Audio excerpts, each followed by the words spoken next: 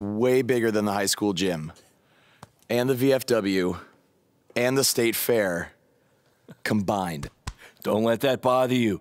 All that matters is the ring's the same size. All right, good point, but I assume their rings aren't covered in rust and mysterious stains. Hey, we're working on fixing that.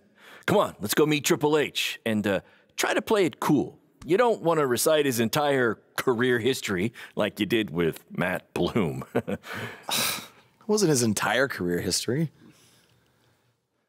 Hey, Hunter! It's been a while. This is my guy that Matt Bloom wanted to bring in for the tryout match tonight.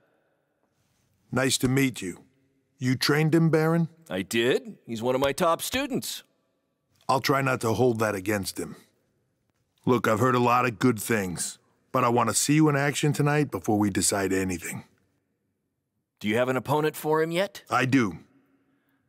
Surviving in WWE is all about how you handle adversity, so you're going to face the toughest guy we have. Actually, the toughest monster we have.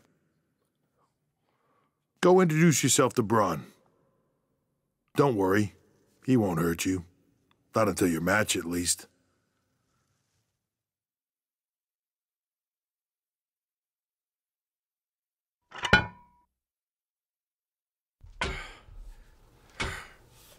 Uh, hey, Braun?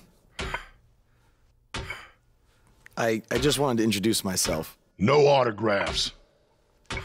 I'm I'm not a fan. I'm actually your opponent tonight. You mean victim? So how do you want to die tonight?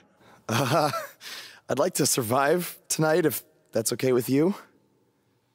What I meant was, in what type of match do you want to get these hands?